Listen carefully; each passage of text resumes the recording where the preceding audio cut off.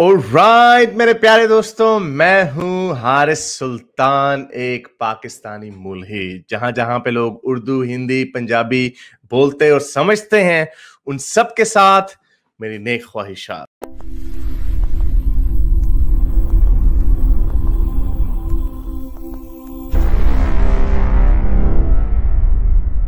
Iran का, हमें पता है कि ईरान एक वो जॉर्ज बुश ने कहा था एक्सिस ऑफ़ ईवल कंट्रीज़ है।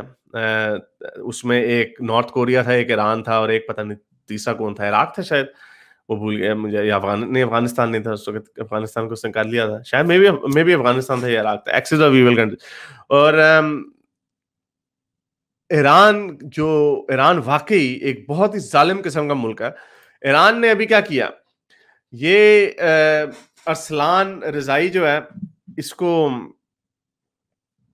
इन्होंने एक्सिक्यूट किया, जो इसको सॉरी इसको कत्ल करवाया। तुर्की में था, ये ह्यूमन राइट्स का एक्टिविस्ट था और ईरान की तंजीम के खिलाफ बोलता था। क्रिटिक्स क्रिटिक था, क्या खिलाफ बोलने से क्या होता है? उसको मार देते हैं। लिखता था, उसके खिलाफ का शोकजी वाला चक्कर। लेकिन क्योंकि इसको तुर्की में मारा, इसलिए ये इतनी कोई खबरें ग्लोबल नहीं हुई। और बेचारा यंग था, अभी इतना मशहूर नहीं था। तो इसको ईरान ने हिट किया असैसिनेट किया। और उसी तरह इन्होंने ये एक और आदमी को उसको एक्सिक्यूट किया जर्नलिस्ट था ये। और इसका नाम रहुल्ला जाम था। और ये भी ऑनलाइन लिखता था, इनके खिलाफ लिखता था एक्टिविज्म करता था, अपनी स्टेट के ईरानियन जो हुकूमत है, उसके खिलाफ बोलता था। और इसको भी उन्होंने अभी फांसी दे के मारा सैतालीस साल इसकी उम्र थी। तो ये ईरान एक बदमाश मुल्क है। आप चाहे जो मर्ज़ी बोल लें अपनी हुकूमत के खिलाफ उसके खिलाफ लिखें बहुत लोग खिलाफ लिखते हैं। ट्रंप के खिलाफ कितने जर्नलिस्टों ने लिखा। आ, या यू नो बहुत सारे लोग अपनी जर्नलिस्ट अपनी हुकूमत के उनके खिलाफ लिखते हैं। लेकिन उनको जो फांसियाँ देना उनको कत्ल करना उनको ढूंढ ढूंढ के कत्ल करना ये सिर्फ़ वो जो थर्ड वर्ल्ड के जो बरबरीत वाले मुल्क हैं ये वही वो काम कर सकते हैं। तो ईरान उन मुल्कों में से एक है। लेकिन मुझे बड़ी हैरत हुई कि अपना, अभी यूएनओ में इनके खिलाफ एक बिल एक मेमोरेंडम साइन होना था जिसपे कंट्री से पूछा गया कि क्या आप इसकी मजम्मत करते हैं या ईरान जो बहाई कम्युनिटी ईरान, पाकिस्तानियों का ऑब्सेशन है ना अहमदियों के साथ, ईरान का ऑब्सेशन है बहाइयों के साथ।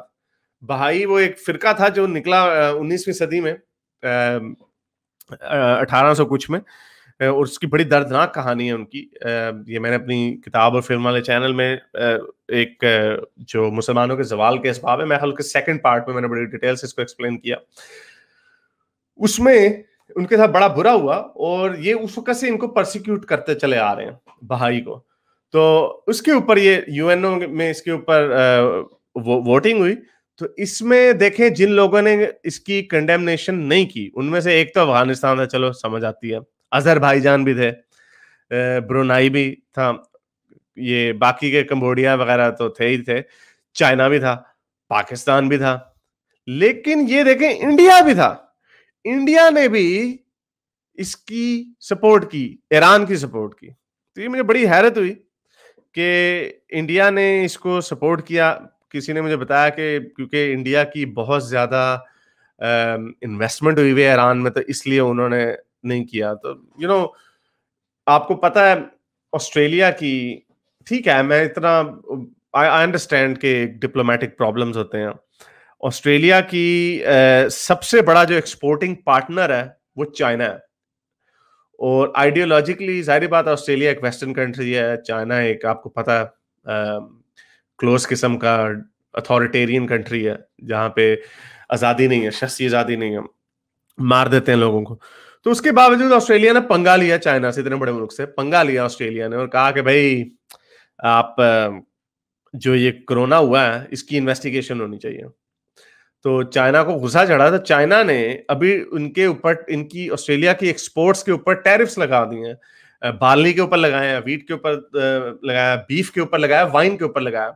तो ऑस्ट्रेलिया को बड़ा तंग कर रहे हो तो ऑस्ट्रेलिया बेचारा छोटा मुल्क है नहीं पंगा ले सकता। लेकिन ये फिर भी खड़े रहे। मैंने कहा नहीं भाई हम आपकी ये जो आपने जो चवले मारी में कोरोना के साथ जो आपने किया आपने लोगों को जो मारा उसके ऊपर उन्होंने बोला। लेकिन यहाँ पे आई थिंक इंडिया को मेरा ख्याल से इंडिया को शायद आ, शायद नहीं हंड्रेड परसेंट इंडिया को ईरान के खिलाफ खड़ा होना चाहिए था। वो कहना चाहिए था हाँ भाई इसको टिक करना चाहिए था। um, तो बहरहाल I think I am not मैं कोई फॉरेन अफेयर्स का एक्सपर्ट नहीं हूँ। आई अंडरस्टैंड के यू नो बड़ी प्रॉब्लम लेकिन ये एक ऐसा कमेंटेटर होने का ये एक फ़ायदा है कि भाई हम मेरे पास एक लिबर्टी है कि मैं असूली तौर पे खड़ा हो सकता हूँ इवन दो यू नो जैसे मैंने आपको कहा कि आई अंडरस्टैंड कि बड़े और चक्कर होते हैं आपकी डिप्लोमेटिक आपकी ट्रेड का इन्वेस्टमेंट का, वगैरह वगैरह। ये चाह बहार पोर्ट का जो चक्कर है ना ये सारा चाह बहार पोर्ट का, ये इसने चाह बहार पोर्ट ने बड़ा शोर मचाया हुआ। ताली अदिता आदि कह रहे हैं India do not does not want to oppose anyone and the internal politics except Pakistan तो देखें आपने जो फिर सीए का जो कानून पास किया वो भी एक इंटरनल पॉलिटिक्स में ही आपने इंटरफी किया ना कि जो बांग्लादेश पाकिस्तान और अफ़गानिस्तान में जो उनकी माइनॉरिटीज के ऊपर अगर जुल्म होता है तो वो इंडिया में आ सकते हैं। तो ये आपने उनकी इंटरनल पॉलिटिक्स के ऊपर ही डिस्कस किया ना कि भाई आ, उन यानी ये जो तीन कंट्रीज़ हैं इनकी ये अपनी माइनॉरिटीज के ऊपर जुल्म करते हैं। तो ऐसे ना किया करें जहाँ पे वही बात आ जाती है कि जहाँ पे ये काम होता है थोड़ा सा नेशनलिज्म को थोड़ा साइड पे रख दिया ना मे बी जैसे उन्होंने कहा कि चाह चाह बाहर पोर्ट का मसला है I understand maybe the problem लेकिन ये इस तरह की ब्लैंकेट स्टेटमेंट ना देंगे इंटरनल पॉलिटिक्स के ऊपर नहीं हमने करना काम। मेरे इस नेक काम को जारी रखने के लिए मुझे पेपैल या पेट्रियन पे ज़रूर सपोर्ट कीजिए, ताकि मैं अपना पैगाम ज़्यादा से ज़्यादा लोगों तक पहुँचा सकूँ।